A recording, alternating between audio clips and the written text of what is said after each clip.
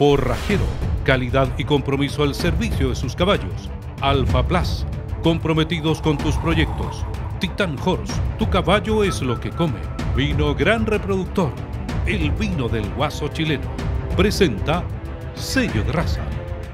Hola queridos amigos de Sello de Raza, mi nombre es Jaime Piñeira y hoy vengo nuevamente a presentarles la marca irlandesa Plus Vital. Es una marca de excelencia hecha en base a nutrición y estudios científicos. Eh, llevamos en Chile alrededor de 7 años y estamos en las farmacias veterinarias más importantes de nuestro país a lo largo de todo Chile. Hoy día vengo a mostrarles un par de ellos, ya que tenemos alrededor de 20 diferentes.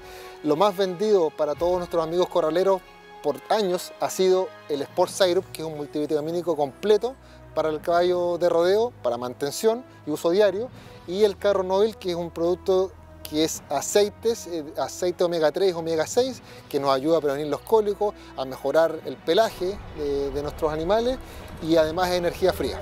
Y recuerda amigos, Plus Vital, productos basados en ciencia equina.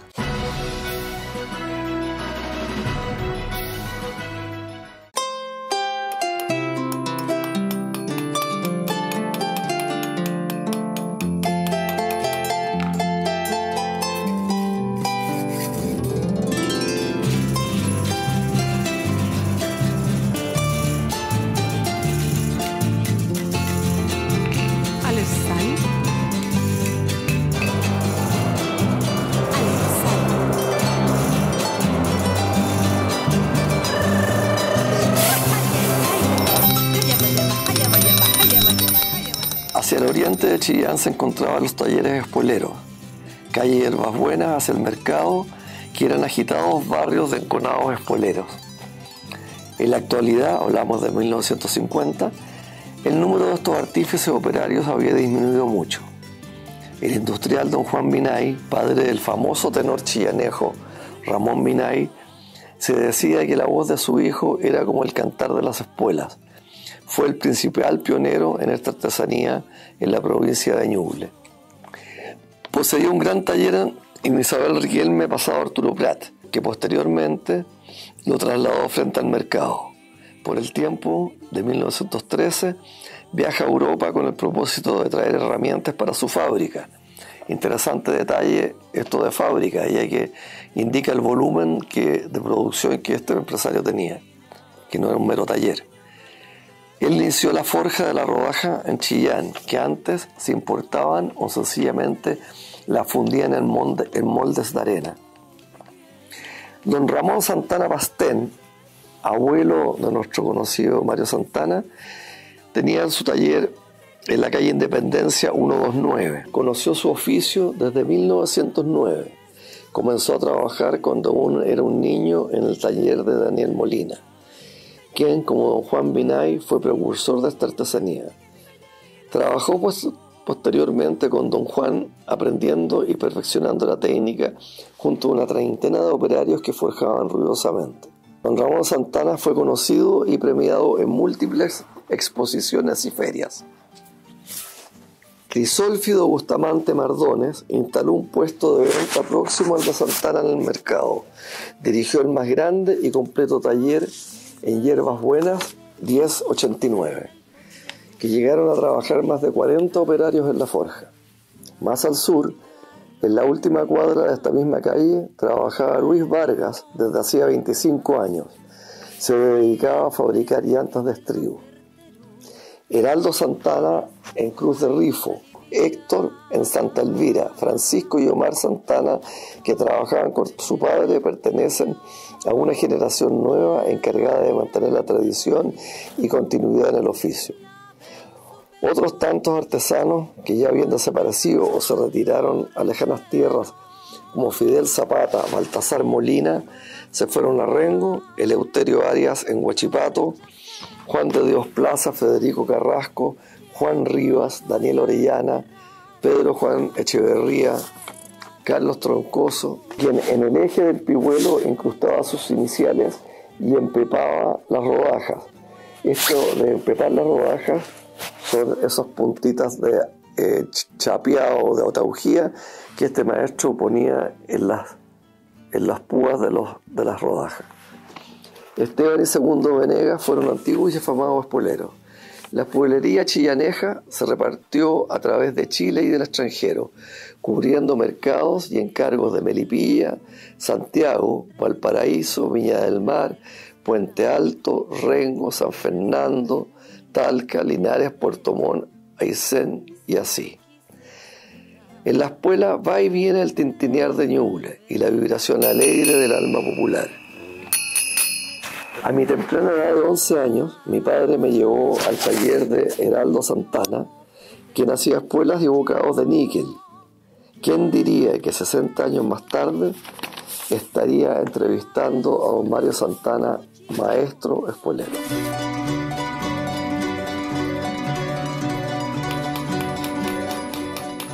Don Mario, muchas gracias por abrirnos la intimidad de su taller y de su hogar. Estamos aquí en este lugar tan bonito, con tantos recuerdos, las murallas. Eh, tremenda responsabilidad ser el heredero de esta tradición de, varias generaciones. Yo quisiera que me contara cómo era la aproximación al mundo este de, las espuelas, porque me imagino que el taller estaba en la casa o no. Sí. O sea que sus primeros juguetes deben haber sido fierros. ¿eh? Completamente. Cuénteme cómo era eso. No, nosotros, nosotros cuando niños todos tuvimos que aprender aprender a trabajar y lo interesó y lo gustó y no todos todo mis hermanos terminaron haciendo escuela porque aquí de los Santana y de mis primos también muchos estudiaron y los más flojos éramos los que hacíamos escuela, los, que no teníamos, no teníamos la capacidad de estudiar. Hacíamos escuela, pues ese era el trabajo de los Santana. Ya, pero ¿cómo, qué, qué recuerdo eh, tiene cuando hizo La, primera cosa con no, nosotros, nosotros, nosotros le ayudamos a los maestros, a, mi abuelo, a mi papá, y tratamos de ayudarle y ir aprendiendo. Y con los años uno se da cuenta cuando termina de aprender. Porque los antiguos no, no, no, no enseñaban propiamente tanto, tiene que fijarse. No enseñaban. Una vez recuerdo que le mostré, me mandó a, a lijar un par de espuelas a mi abuelo a pulir. Se la mostré, la encontró mala. Ya la, la volví a pulir, la volvió a encontrar mala. Como la cuarta vez se la mostré y la encontró buena y no le había hecho nada. Salió de hablo el nieto también. Claro, claro. Pero ellos nunca le encontraban algo bueno a uno. Nunca. Eran desmotivantes. La verdad que los maestros antiguos eran muy desmotivantes. Yo he sido contrario, con mi, nieto yo le he enseñado y le he explicado. Y él se ha dado cuenta y yo creo que va a aprender también. ¿Y recuerda cuál fue la, primera pieza que hizo usted ya pues, por sí mismo? No, yo vine a hacer después de los 30 años, vine a hacer algo yo solo, sí, y venderlo. Si antes tenía que trabajarle a mi papá, a mi abuela, ellos eran los que vendían, yo tenía que lo que me decían ellos nomás. Ya, pero, pero ya a esa altura, yo me imagino ya tipo 15 años ya, ya hacía pintas, ya martillaba. Sí, completamente. No, a esa edad nosotros ya trabajábamos, trabajábamos y lo mandaban a hacer cierta parte de la escuela y ahí quedamos, pero lo tenían por ahí. Lo más importante, lo más importante de un espuelero es que tiene que aprender a hacer rodaja. Eso es lo mismo que estoy haciendo yo con mi, nieto, eh, con mi nieto en este momento. Él tiene que lo primero es hacer, especializarse y darse un sello en la rodaja. Y de ahí viene la parte de la espuela. Mm. Eso es lo que estoy haciendo con mi nieto yo ahora para el verano, recién, recién, después de dos años, de dos años, lo voy a poner a, a que empiece a aprender a hacer espuela, el asta. La rodaja es como, es el alma de la escuela. El alma de la escuela, esa es la roja. Y eso es lo que más cuesta aprender y eso es uno de los trabajos más pesados. Entonces eso es lo que, ahí se sabe si uno va a aprender o no va a aprender, o si va a aguantar. Qué importante la paciencia en esto. ¿eh? Completamente, no, y no tiene, si el problema es que no tiene que desmotivarse uno. que si se desmotiva, estamos mal. Mario, ¿y cómo, cómo viene la decisión de venirse a trabajar a Santiago? No, eso mi papá se vino a trabajar a ah, Santiago y, nos trajo a nosotros y ahí, y ahí nosotros hicimos la vida aquí en Santiago. Nosotros en el fondo somos santiaguinos. Sí, pero, pero la, el alma guasa la, viene, había, había antepasados guasos o usted es el primer guaso de la familia? Eh, eh, por parte de mi, de mi padre, no. Por parte de mi, de mi mamá, ellos tenían campo en Payaco. Nosotros tuvimos, tuvimos viviendo en Payaco, muchos años atrás, de niño, y de ahí nos venimos para acá, para Santiago.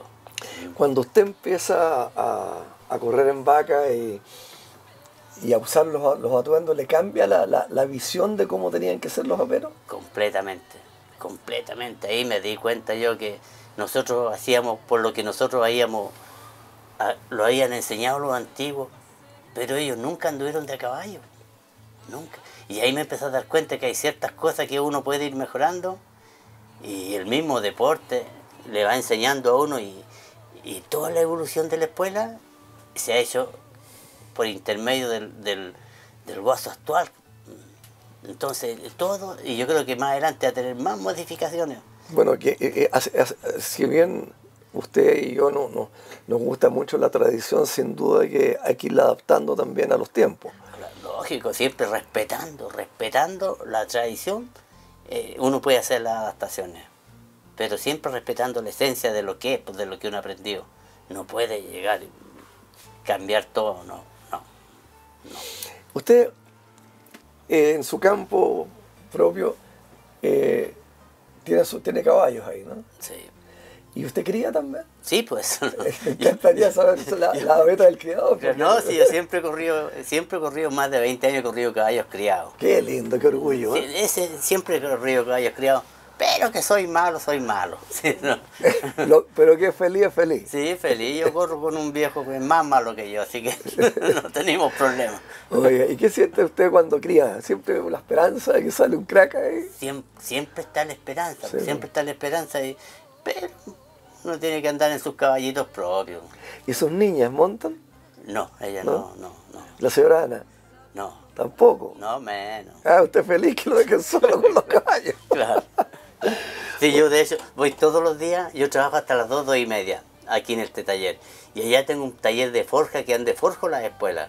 Y un ratito forjo ahí y después todos los días yo ando a caballo. Todos Bien. los días. Porque yo no tengo relador, nada, entonces yo hago lo que yo creo nomás que está bien. Pero más allá no. No. Qué lindo, qué, qué bonito poder desenvolverse en lo que a uno le gusta y la apasiona. ¿eh? Claro, sí. Su trabajo y su, y su hobby. Lo... Claro, claro. Cuesta, bueno. cuesta tomar la decisión de trabajar mediodía y, y, y estar el otro mediodía en lo que a uno le gusta.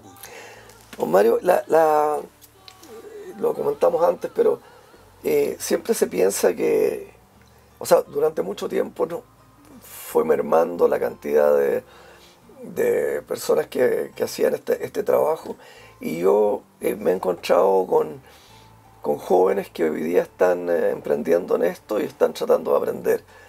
Eh, de hecho, el mejor ejemplo es su nieto. ¿Qué, qué, qué consejo le da a, a, quienes quieran emprender en, este, en esta actividad?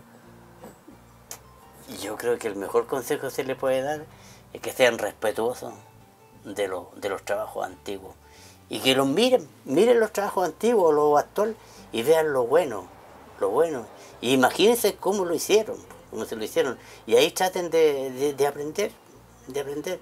Y eso, todos los trabajos hablan solo. Si hay uno el que no lo entiende. Y ahí, y ahí yo creo que van a aprender, van a aprender. Y ojalá tengan una buena formación y se lleguen a alguien que más o menos les explique algo. Pero cuesta. Este trabajo cuesta mucho. De hecho, por eso se han perdido muchos mucho, mucho artesanos que no le quisieron enseñar a los hijos. No, no le, es Vidal, el caso de Vidal. Sí. Muy extraordinario. Y ni ningún hijo de él aprendió. Vidal, que se caracterizaba por lo liviano de sus trabajos. Claro. Entonces, y, much, y mucha gente sí se ha perdido ¿no? porque no, no aguantan, no aguantan. Y esto, y bueno, gracias a Dios yo ya, ya tengo una vida hecha, ya en la escuela, tengo... Y la gente me reconoce y me compra. Ahí me compra sí, mi trabajo. Entonces yo, ¿qué más? Luego de la pausa, Sello de Raza, el programa del caballo chileno. Atención criadores y afición corralera. ¿Buscas reproducir o promocionar tus potros? Hoy es posible con Legado Corralero Entra a nuestra web legadocorralero.cl donde encontrarás una plataforma diseñada para ustedes con la información detallada de potros reproductores que hoy están disponibles para la temporada de reproducción 2024. En Legado Corralero usted puede subir a nuestra web sus potros en forma gratuita. Solo contáctese con nosotros. Legado Corralero, reproductores y genética más cerca de usted. No lo olvide, visite nuestra web legadocorralero.cl.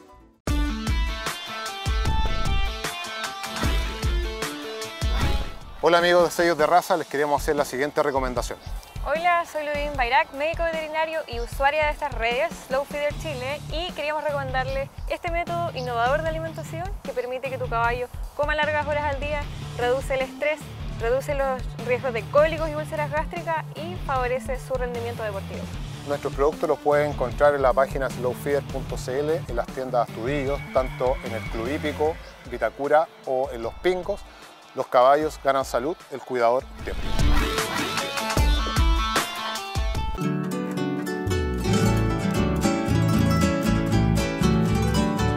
Atención criadores, corraleros y público en general. En Alimentos Don Dani usted encontrará todo tipo de alimentos para caballos, cerdos y animales de granja. También disponemos de fardos, cubos de alfalfa y gran variedad de alimentos molidos y para mascotas. Estamos ubicados en la parcela 65 El Tambo, San Vicente de Tahuatahua. Visítenos o llámenos al más 569 6175 0855. Alimentos Don Dani, la economía en sus alimentos. ¿Buscas maximizar el rendimiento de tu caballo? Usa hoy Megacell, la solución avanzada para el cuidado muscular. Con selenio y vitamina E, en una fórmula líquida patentada, con un sabor que a tus caballos les encantará. Megacell reduce el dolor muscular, mejora la resistencia y previene lesiones. Ideal para caballos deportivos y en recuperación. Megacell garantiza que tu caballo esté siempre en su mejor forma. Megacell, fuerza y resistencia para tu caballo. Pruébalo hoy.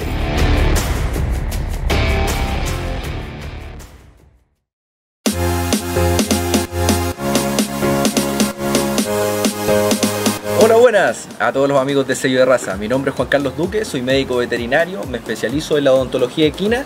Eh, junto con la doctora Catherine Yokota, nosotros pertenecemos a la empresa Odonto Caballo del Sur. Eh, nos movemos a lo largo de todo Chile preocupándonos de que las bocas de los caballos estén bien. Y junto con los amigos de Sello de Raza, nosotros vamos a hacer varias cápsulas y programas hablando sobre el bienestar y lo necesario para tener una buena boca en los caballos, tanto en el día a día como en la competencia. Odonto, Caballo del Sur. No cambie el freno. Mejore la boca de su caballo. Descubre la nueva arcilla verde del Belay, tu aliado natural para ayudar a aliviar tendinitis, esguinces, abscesos y lesiones de tu caballo. Favorece la recuperación del tejido afectado. Ayuda a reducir la inflamación y el dolor. Resultados comprobados en tan solo días. Para más información, contáctanos a los números en pantalla o ingresa a importadoraliberona.com. En Equidiet somos especialistas en nutrición. Transforma tus caballos de rodeo en atletas de alto rendimiento. Marca la diferencia en los sellos de raza. Exposiciones con los especialistas en nutrición equina. Equidiet te entrega la resistencia y fondo físico para marcar la diferencia en la media luna. Transforma tu caballo de rodeo en un atleta de alto rendimiento. Equidiet suplementos de alta gama para un resultado deportivo extraordinario.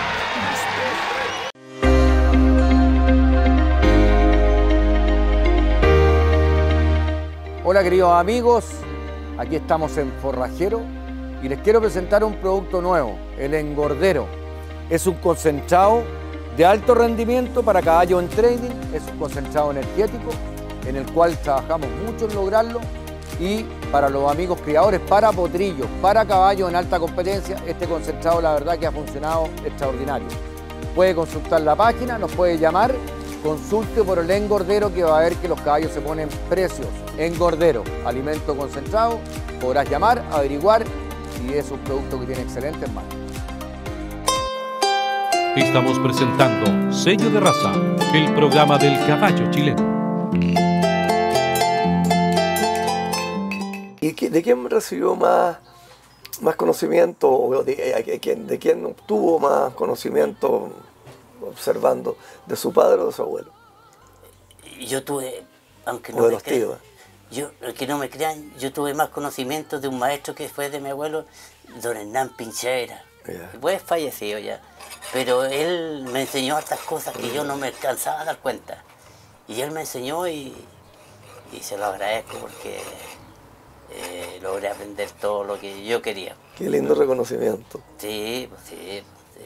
Eh, ¿Había diferencia entre la, el- el- el- las escuelas de su abuelo, de su papá y las suyas? O sea, yo entiendo que las suyas sí porque hubo una evolución en la forma de correr y qué sé yo, que requirieron que una escuela Claro. actuara de una u otra Claro. forma, pero Claro. en el arte mismo. El- el- la- la- el- ¿Qué diferencia puede haber que mi abuelo siempre respetó la parte de forja, de, de, de chapeado, de todo eso? Y mi papá se saltó esa parte. Él fue a la parte más fácil que fue la, la escuela fundía, que fue muy exitoso, fue muy exitoso en esa escuela porque vendían por cajones esa escuela. Y yo, yo de, de, mi, de mis primos, de mi hermano, el único que eh, el único que aceptó el trabajo fui yo porque no mi hermano ma- nadie quiso hacer escuelas de fierro nadie en la escuela fina no como que en un tiempo se le perdió el interés y de ahí eh, salió después salió la escuela de alpaca después la acero inoxidable que actualmente es exitosa. Qué Y- pena. Yo por lo personal encuentro que pero pero exitosa pues, exitosa. Eh, gana la gente esa que trabaja en esa escuela gana mucha plata está bien. Pero yo siempre he preservado este trabajo y lo tengo preservado para mi nieto y eso ojalá que, que le sirva si nosotros pensamos bien el rodeo tiene 60 y cuántos años 70 eh, 76, 72 78, por ahí. Sesen- 74 años fueron Claro. hace un par de años. Claro, mi abuelo, claro, el rodeo tiene 68 o 70 años ya. Y, y- y mi abuelo antes ya hacía espuela. Antes, antes se usaba la espuela, se usaba, se, se usaba la espuela para ir a misa. Iban acampados los viejos, a misa. Pero Al- sacaban las espuelas antes de a la iglesia. Lógico, lógico. sí, sí. Sí, e- es el, el gran error que hay hoy día. Hay bailarines que bailan con espuela. Yo se lo estoy- o sea, esa es una de mis peleas. Uno, en símbolo de respeto, se saca la espuela antes de bailar con una mujer. Yo de repente he premiado y por ahí me cae un segundo o tercer premio, he tenido que bailar cueca. Y he visto todos los guasos que, al menos donde corro yo, lo primero que se sacan son la- las botas y las espuelas para bailar la cueca. Y los bailarines, no, los bailarines ellos. Y las usan paraditas para arriba. Don Mario, ¿y qué otro, qué otro tipo de clientes, qué otro tipo de escuela se ocupaba? Porque habían de chute, de mujeres, espuelines, eh, qué sé yo, el, Es, es que, es, es que la escuela ahí era según, yo creo, según la persona con, con mayor poder adquisitivo, habían escuelas muy finas. Se mandaban a hacer escuelas finas, que son las que hoy día andan dando vueltas por ahí y valen una fortuna. Valen una fortuna. Yo personalmente tengo espuelas de 8 pulgadas, ya, que son inusables. Y tengo vecinos que también tienen. Yo tengo mi teoría, pero ¿qué piensa usted? ¿Por qué se hacían estas espuelas así tan grandes? ¿Las usaban o eran para regalo o para adorno? Yo creo, y yo también he tenido esas escuelas grandes. Y yo creo que esas escuelas, si usted se fija bien, todas esas escuelas grandes que están, están nuevas. Sí.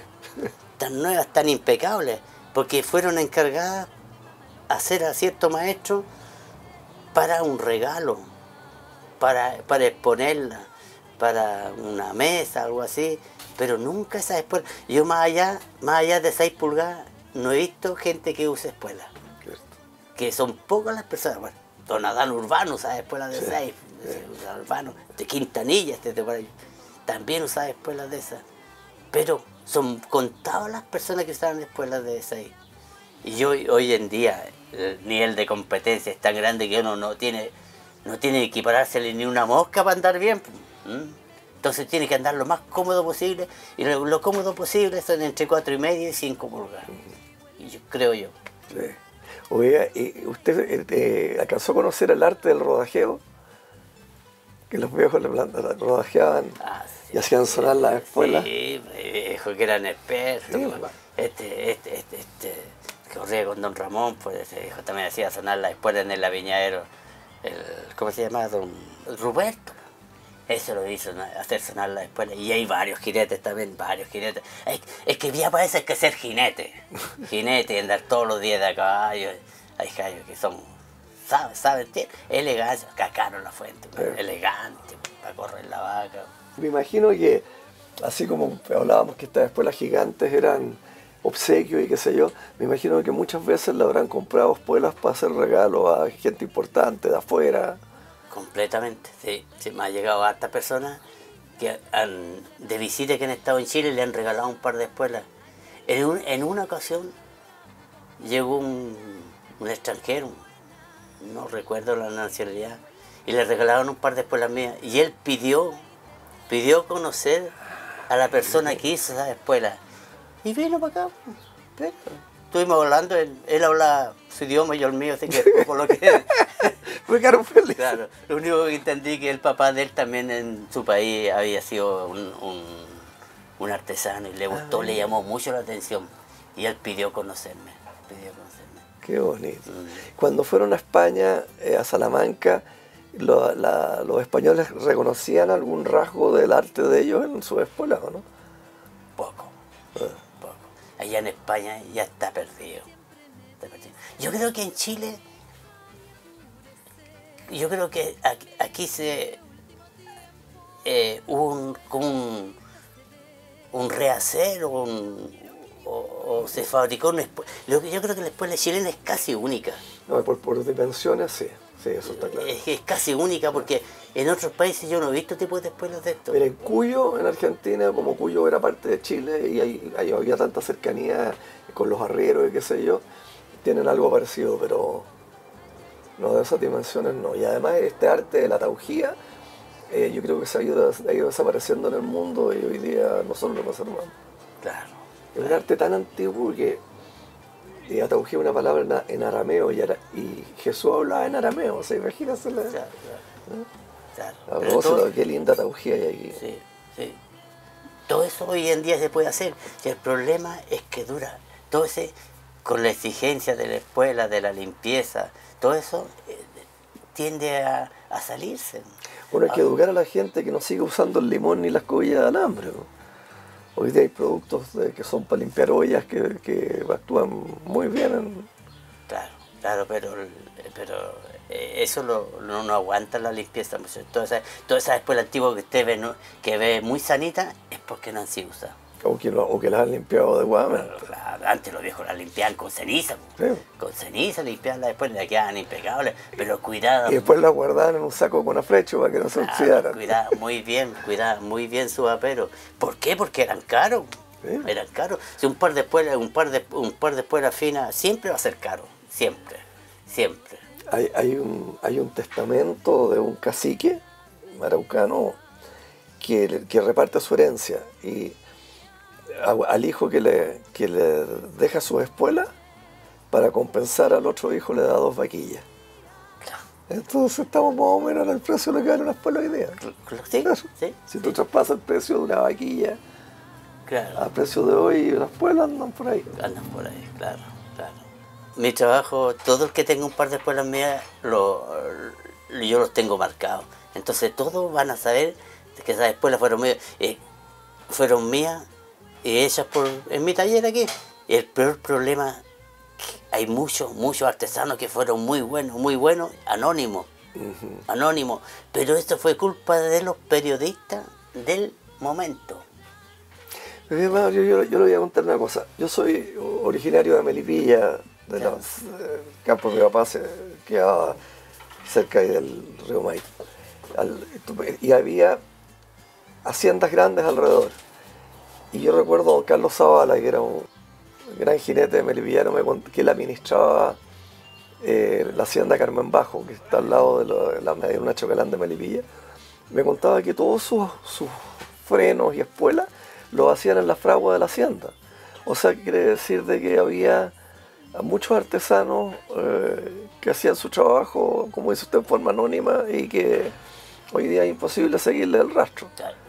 Yo, yo no sé si usted identifica trabajo de algunos maestros viejos Sí, lo sabe reconocer. completamente, en la vuelta, en todo, muy, en, muy- en muchas cosas. Y, y hay gente, por suerte, que marcaba su espuelita. Entonces uno, por último, si uno no los conoció, eh, se da cuenta que fue un, le, le pusieron mucho, mucho de su cosecha. al- a la- Entonces sería re importante que usted hiciera un documento que nos ayudara a entender eso.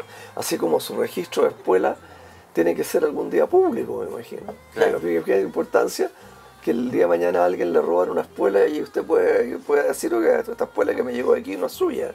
Ya, ¿De dónde no, la sacó? No, si están hechos, el registro está hecho. Sí, pero, está, pero eh, que bueno sería que, que, Ah. que en un momento fuera un documento público. Un documento, pues claro, claro. Yo en este momento lo tengo privado, pero está hecho, está hecho. Pero uno puede recurrir a usted para... Lógico, por el número. Si lo único que yo les pido es que se aprendan el numerito, la letra y el número que está, y yo lo tengo lo respaldado en un cuaderno.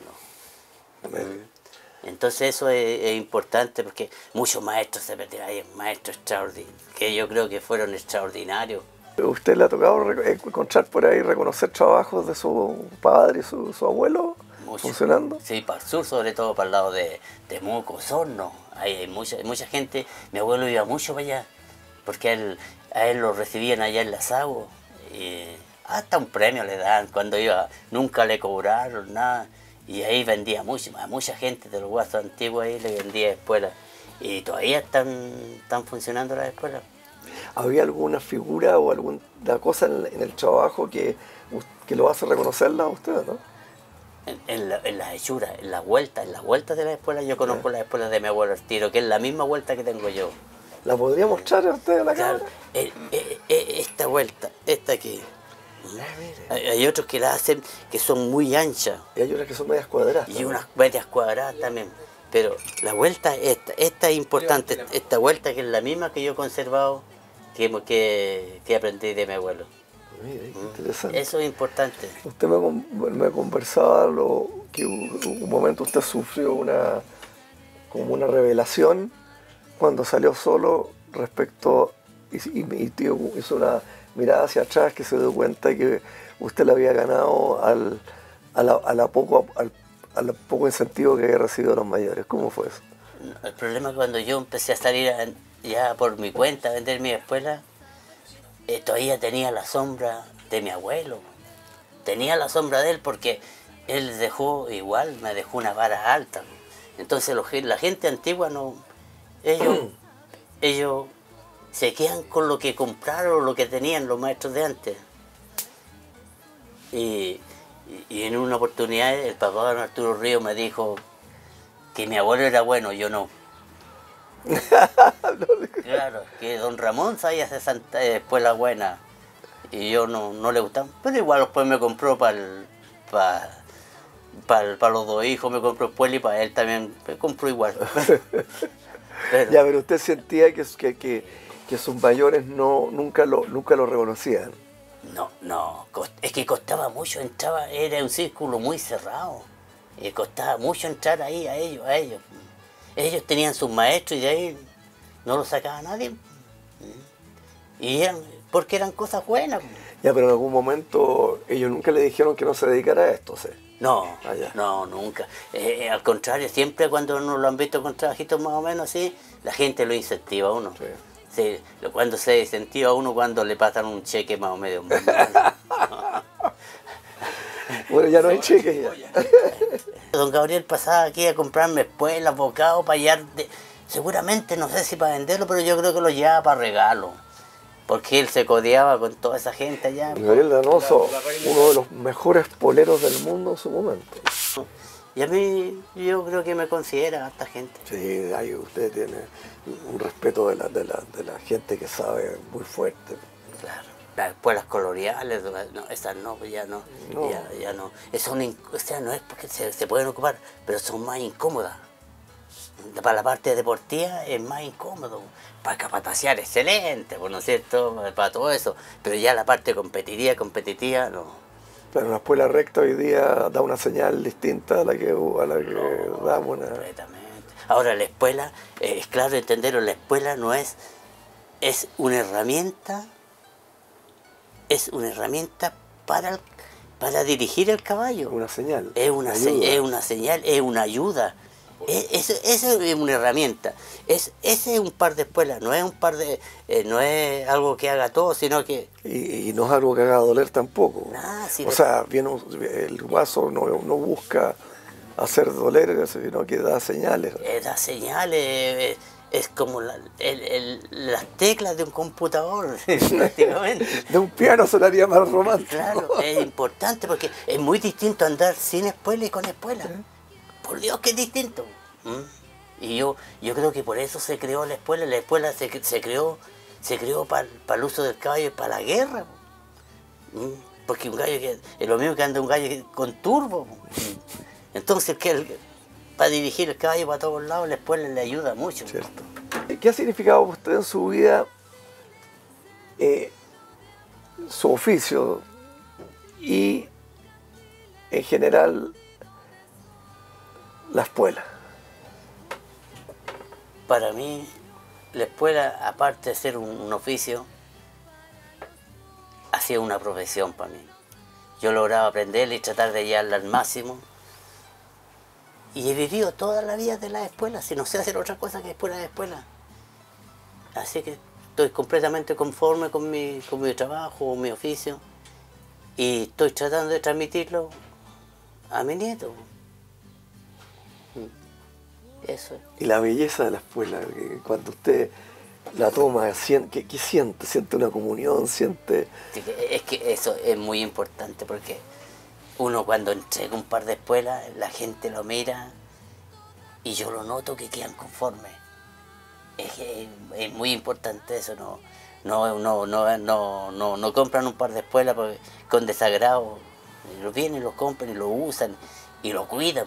Ahora un par de espuelas, como todas las cosas, tienen cierta duración, pero el guaso que se ha ganado un rodeo o, o champeado por ahí, viene con un par de espuelas de 30, 40 años que se las vuelva a reparar y se las vuelva a reparar. No sé. Entonces, también todo tiene, tiene su desgaste. po. Y la, la gente cuida. Ahí yo noto que la gente aprecia, aprecia la, la, parte esta- la parte o sea, de los aperos. Y yo creo que el apero que más, más dura, la más durabilidad es la espuela. Siendo, no siendo tan, tan, tan demasiado cara para lo que duran. Ese es un punto. ¿ah? De repente, yo recuerdo eh, que el, el hijo de, del maestro ¿Faría? Faría, eh, una vez fui yo a que me hiciera una rodaja y me dijo que él ya no hacía, ya no trabajaba y que hoy día arreglaba televisores. Y le dije, pero ¿cómo? Claro, me dijo, "mi- yo me gasto una Lima Nichols, me dijo, eh, no sé cuántas sierras para hacer una par de rodajas. Y viene el guaso después y me, regodea el precio. Y, y no valora lo que, en cambio, si yo arreglo un televisor, la señora está desesperada que van a dar la- no va a poder ver la telenovela, así que viene y me paga el tiro para que se lo arregle. Mira, mira, eso me lo dijo Faría. Sí, no, sí, en mu- en muchos casos es así. Yo, Entonces eh, hay un respeto. Yo creo que no se puede regatear. Eh, si fuera una espuela segunda mano se puede regatear. Pero cuando uno lo está comprando directamente al creador, uno debe respetar el trabajo que se le, se le puso. yo, yo siempre me he dado a respetar por mis precios. Pido lo justo. Yo calculo más o menos los días que nos demoramos, toda la cuestión, y pido, trato de, de lo justo. Entonces por eso muchas personas, o sea, nadie, la verdad que yo le hago reaja. Yo pido mi precio y ese es mi precio y el que quiere me compra, el que no, no. Pero esa es la manera de, hacerse respetar uno. Don Mario, qué rico, qué lindo que pueda usted dejar plasmado en este video eh, para las nuevas generaciones y ojalá esto perdure, porque esto es un testimonio de tradición y de vida.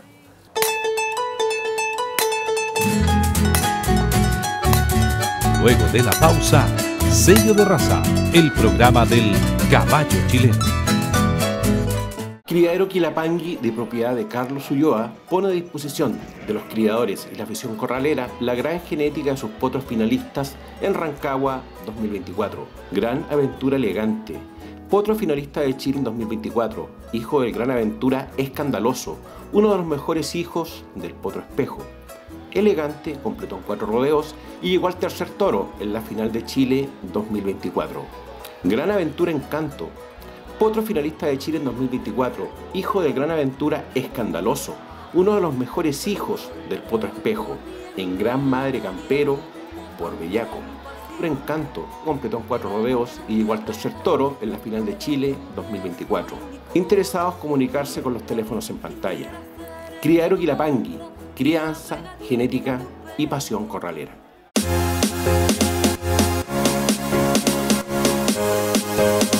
Hola, buenas a todos los amigos de Sello de Raza. Mi nombre es Juan Carlos Duque, soy médico veterinario, me especializo en la odontología equina eh, junto con la doctora Catherine Yokota, nosotros pertenecemos a la empresa Odonto Caballo del Sur. Eh, nos movemos a lo largo de todo Chile preocupándonos de que las bocas de los caballos estén bien.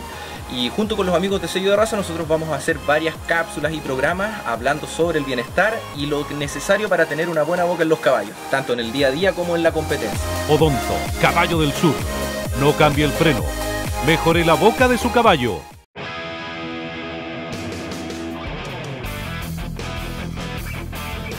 Maximiza el rendimiento de tu caballo y asegura su desempeño con Importadora Liberona.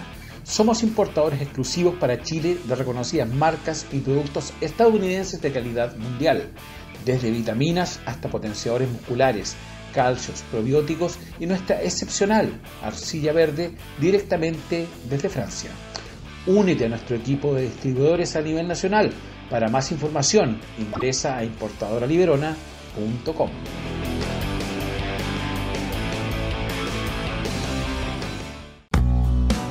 Presentamos el nuevo Forastero Cachorro con un 28% de proteínas y en presentación de 10 kilos para que tu nuevo amigo tenga el desarrollo y cuidados que solo tú puedes darle. Al igual que Forastero Adulto, alimento diseñado con todas las proteínas y nutrientes que un perro de campo necesita.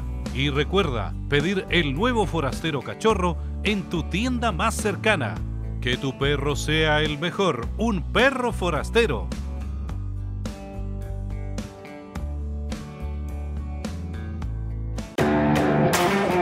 Optimiza el rendimiento de tu caballo con Power Up. Desarrolla músculos, da energía inmediata y mejora su rendimiento. Ayuda a prevenir la fatiga muscular en ejercicios de alta intensidad. Potencia el rendimiento de tu compañero equino con Power Up. ¿Está pensando en cambiar su carrocería? Tiene un proyecto nuevo, Carrocerías Ignacio Salazar, de Javier Salazar e Hijos. Los espera para conversar de su nuevo proyecto, carros de arrastre o de caballos, cierres y portones. Nuestra especialidad está en carrocerías para camiones, con detalles que hacen la diferencia. Llámenos, estamos en Calera de Tango. De la cordillera vengo, de donde. Crianza, amor y buenas prácticas son la base del criadero Cutipay de Angol, de propiedad de don Alfonso Soto. Venta permanente de producto de espectaculares líneas sanguíneas, Beleco, San José de Loa, entre otros. Venta de montas directas del gran reproductor Don Cachula. Morcacho II, en la Gran Yegua Cascada, ampliamente reconocida por la afición. Criadero Cutipay de Alfonso Soto, puro amor por el caballo chileno. Consulta Sal, más 569 941 96 22 8.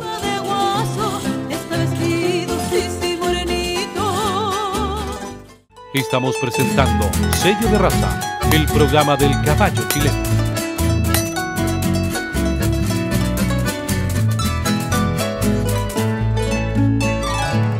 Vamos a empezar a marcar una roja para, para empezar a hacerla. Le damos subdividir las púas primero. ¿Cuántas púas tiene? Tiene 40 púas, le damos subdividirla para empezar, en este caso son 40 púas. Tenemos una, una plantilla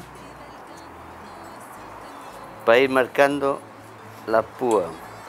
Ahora, ahora ya está marcada la roja. Y ahora le vamos a poner,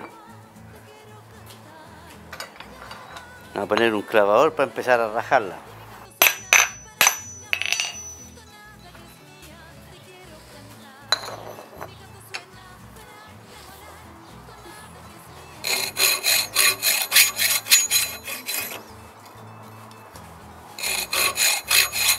Esa es la misma forma prácticamente que las hacía su abuelo.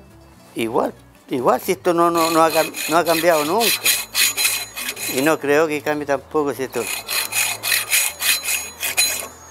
Si esto va siempre, va a ser siempre igual nomás. ¿Y con esa sierra tiene que rajar todo eso? Todo, todo.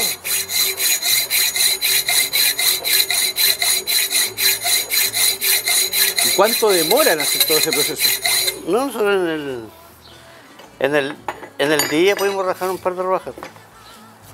Aquí les presento a mi, nieto. Él tiene 15 años y está aprendiendo tal como lo enseñamos a nosotros, así que yo creo que él va a aprender y aprende bien y aprende rápido. Eso es lo bueno, que yo creo que aprende más rápido que nosotros. Así que demuestra ahí mi nieto para que él va a desguatar una, un par de rodajas.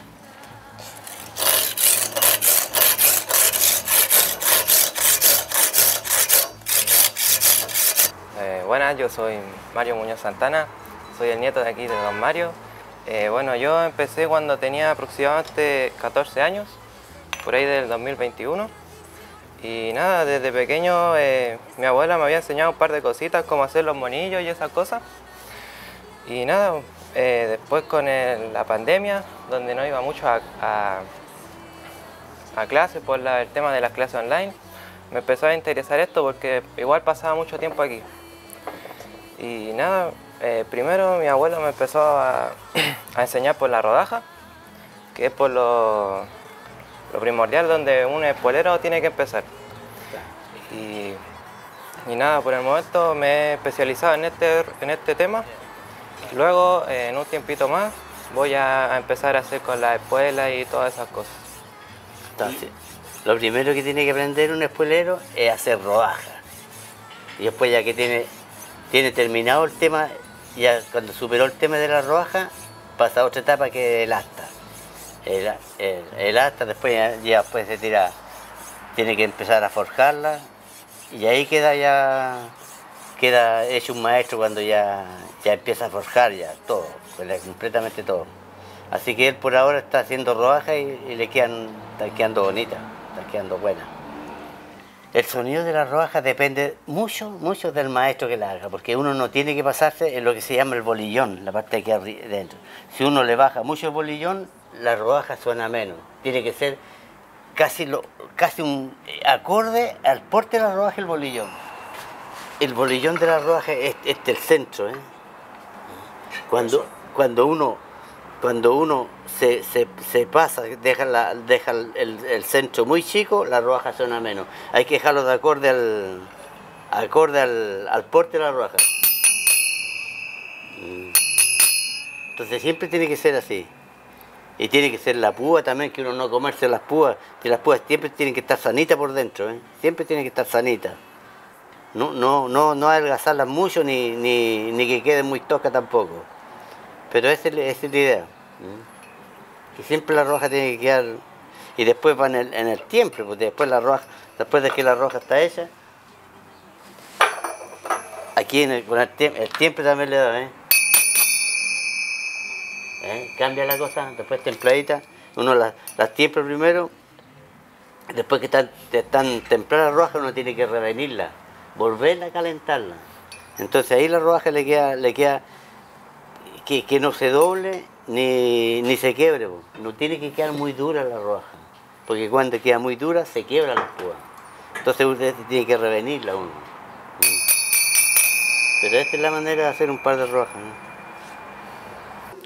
Bueno, ahora vamos a, hacer el, proceso final de la rodaja, que es marcar el bolillón. Aquí nosotros le hacemos así.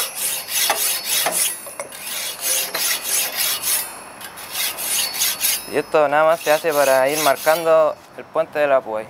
Una vez que está lista la rodaja, que está lista, lista, viene la marca, la marca que nosotros toda la vida hemos marcado la rodaja, que, que es- esa es la marca de los Santana, de la rodaja. Claro, todas las rodajas Santana lleva esa marca. Ahora terminamos la rodaja, vamos a ir a, a- a la fragua a doblar unas hasta que ya están tan, tan, tan preparadas para doblarlas.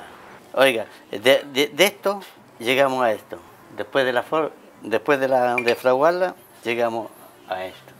Así ahora se la vamos a doblar para que la, le echen un vistacito. ¿eh?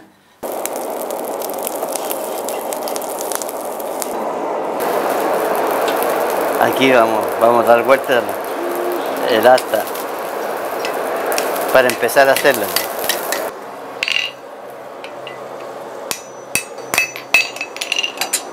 Aquí estamos dando el lado donde tiene que ir el, la hechura, la postura del, del asta, ¿eh? de la espuela. Todas las espuelas son casi estándar. Algunas personas necesitan un la asta un poquito más ancha, pero es casi. Ahora vamos, vamos a, la- a las astas. Vamos a rayar unas astas para, para, poner- para, meterle calor. Aquí se, se raya, hay que rayar todo el asta, pero no, no- no. las rayas que salgan. Ahí estamos, estamos haciendo unas par de espuelas que van con, con cordón al medio. Primero estamos, estamos haciendo las rayas para introducir el metal. Este es el chapeado que se llama. O dama esquinado le llaman otras personas. En este momento estamos viendo cómo Mario va preparando la magia, porque después de- del rayado que está haciendo con la sierra para hacer los hilos, para poner, incrustar los hilos, después va a venir un proceso de martillado, en donde toda esta, esta asta eh, se va a ver como una cosa indefinida, eh, golpeada, y posteriormente la magia final él la va a hacer con una sierra, que, con una lima, perdón, que al momento de pasar la lima sobre este fierro golpeado empiezan a aparecer como una poesía, como una magia, el trabajo y la, la fineza de- del trabajo que Don Mario está haciendo.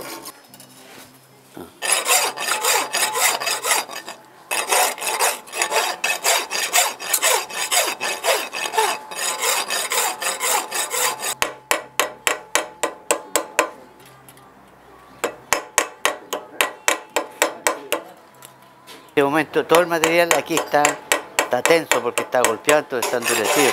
Y ahora hay que meterlo a la fragua para relajar, relajar el material y no salte. Así que vamos, vamos a meter a la fragua para que, para que se relaje. Siempre, siempre los materiales cuando se golpea se endurecen. Entonces uno tiene que recocerlo para que se relaje, no, no salte el material.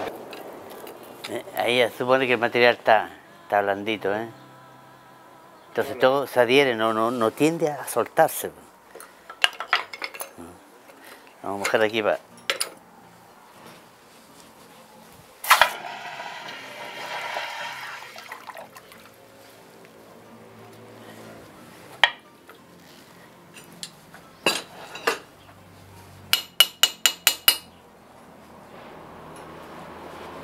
Ahí se nota que está, están las incrustaciones esas. ¿eh?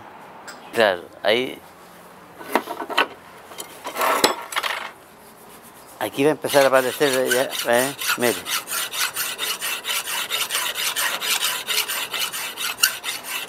El chapeado ahí empieza a brotar, ¿eh?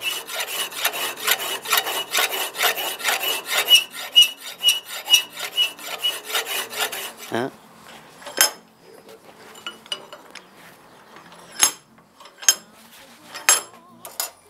Este es el proceso de, de calar, calar los pihuelos. ¿eh? Hay que ir sacándole el pedacito. Ah.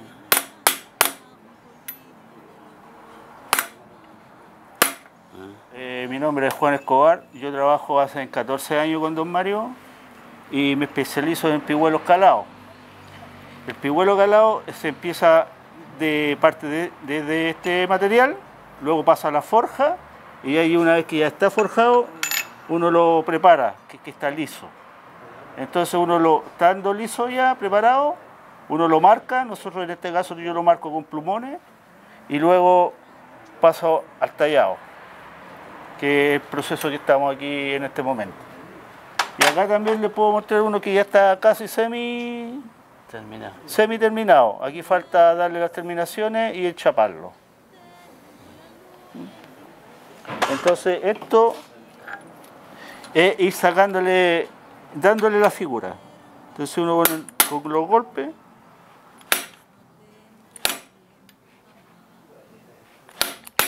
Aquí se trata de irle sacándole el, el, el pedacito, no, no, no el- hundirlo. No hundirlo. No, tiene que salir el, el material, la pepa que le llamamos.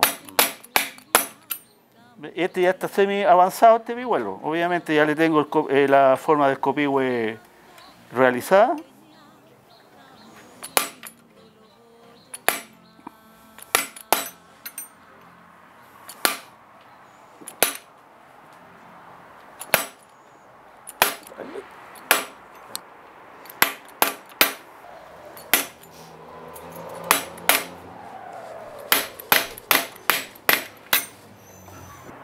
Y estos pihuelos además de los hacemos eh, enchapados en, en- en alpaca, como decía don Mario, las espuelas, y también en plata, que eso ya es son trabajos más exclusivos. Y también en plata tenemos pihuelos que son ya exclusivos, porque no, no son tan corrientes como los modelos tradicionales que tenemos.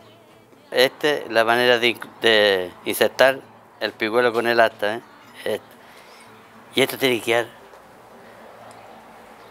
Eh, Es, un- es una, es una línea eh, ¿eh? que lleva una curva. Esa es la gracia de, la escuela. No tiene que ser, la escuela no tiene que, para mi gusto, no tiene que ser recta.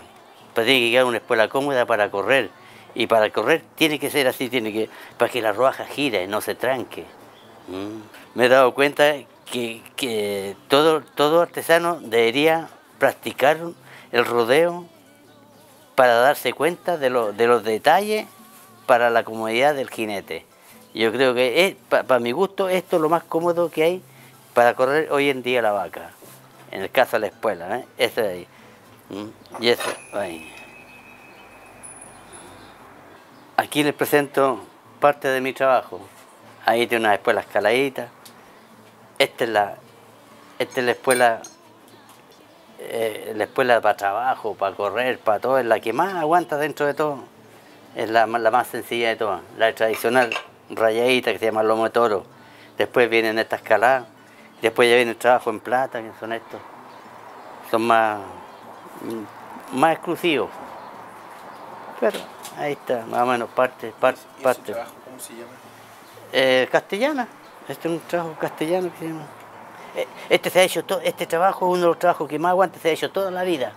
La escuela antigua que usted ve, que vea, en el museo, la mayoría tiene estos trabajos. Que este es los trabajos más, más, más finos que se ha hecho siempre, toda la vida. Y hay, hay- hay varias, como ya hablamos de las características de las espuelas de Don Mario, como el numerado, como el logo, etc. Pero, por ejemplo, vemos que las chapaletas, donde, donde- donde los pasadores eh, de Don Mario son distintas a la, a la de otros maestros por las formas más redondeadas. ¿ya? Y, y diría yo que ese modelo es el que es como el- la bandera suya, ¿no? es Claro, como la más típica claro, de él. claro. ¿ya? Y aquí tenemos las caladas, que son otra variante. Y estas son unas joyas que, que imagínense con el amor que fueron hechas, que fueron hechas para su hija, para sus hijas. Claro. No, Si ven, aquí tenemos el- los- este, este que tiene la forma que se pare- eh, que es la, la influencia mora a través de los españoles, y esta es totalmente redonda, es distinta. Claro. Y esta para qué decir, esto sí que es creación Claro, no, propia de Don Mario. Claro, son únicas. Una vez me retó porque yo dije que los artesanos repetían forma y no creaban. Y vino y me mostró una escuela que era totalmente de diseño propio, ¿se acuerdan? Claro. Durante mucho tiempo se, se fue extinguiendo este, este oficio. Y gracias a que el rodeo y la- las cosas guasas han tenido como un renacer, yo veo que hay más jóvenes que, han, que hace un tiempo atrás interesados en esto. Y hoy día, el mejor ejemplo que esto es una carrera que es rentable y que es interesante para adoptarla, es que eh, tú, tú eres el mejor ejemplo porque tú, tú has tenido un estándar de vida muy superior a la que tuvieron tus antepasados. Tienes tu tierra, tienes tus caballos, tienes un taller moderno, etc. Y eso yo creo que ha sido un incentivo para ti de darte cuenta que eh, esto es todo un mundo para adelante. Eso es lo que yo le digo, que lo aproveche, porque aparte de ser un oficio, es casi una profesión. Una forma de vida. Una forma de vida, una profesión que, en, ninguna parte se la van a enseñar más que eh, los familiares. yo le digo que aproveche. Por supuesto, él tiene que estudiar primero, lo, que, lo primero que tiene es estudiar, sacar una profesión y después el que elija, elija si le conviene hacer esto o su profesión, no sé. Con la satisfacción que la enseñanza de don Ramón Santana Pastene, bisabuelo del hombre, abuelo, abuelo del abuelo de él, ya, eh, se, está, se perpetúan en el tiempo. Qué lindo ver que Sangre Joven hace esto por pasión más que por necesidad. ¿ya? Y así es que le agradezco a ustedes que se estén proyectando que se estén proyectando con amor a, a lo nuestro.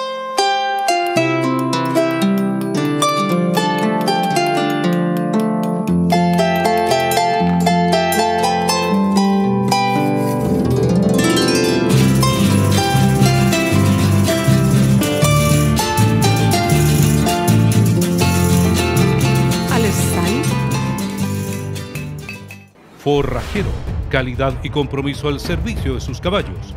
Alfa Plus, comprometidos con tus proyectos. Titan Horse, tu caballo es lo que come.